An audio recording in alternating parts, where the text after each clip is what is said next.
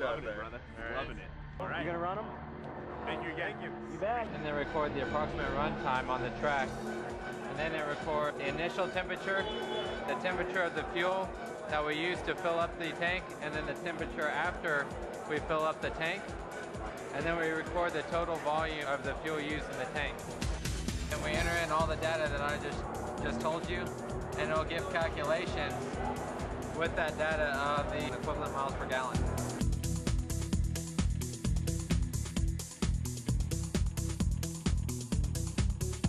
We shipped the car from Canada. It was stuck because of the customs.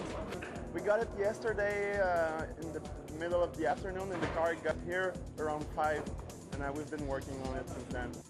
We, can, we could get it on the track hopefully before noon, so we can have the time to uh, do one or two runs.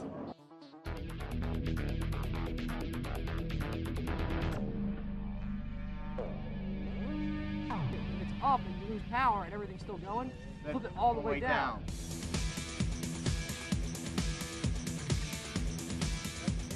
Uh, there, our chain came off our sprocket. Turn our wheel. Oh, but we're good to go again. Oh yeah, we'll Oh, be we're back not on the through. track. Something with the starter's going haywire. We'll figure it out though. Ain't no big deal. Starter wire. Starter wire's uh, loose.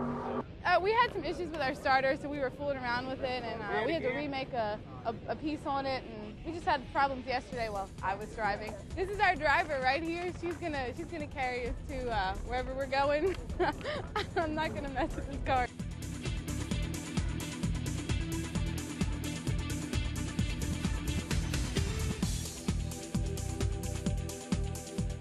Good, we had a qualifying run.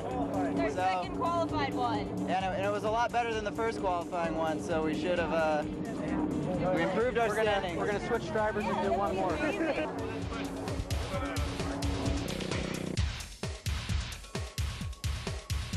Uh, we just passed the safety inspection and we're ready to go uh, on the track right now.